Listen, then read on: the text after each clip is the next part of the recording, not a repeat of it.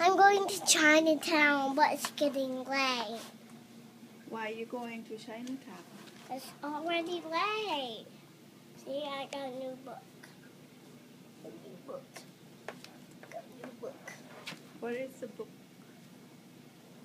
It's Princess, Princess, Princess Ariel, Gene Hawk, and Cinderella. See? Cinderella. That's Cinderella right here. That picture.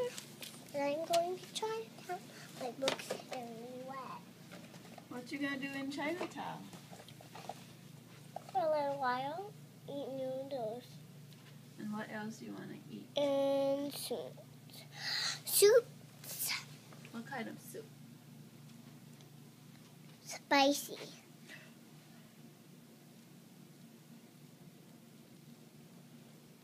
Really? Mhm. Can you eat spicy food? Mm-hmm. Really, really spicy?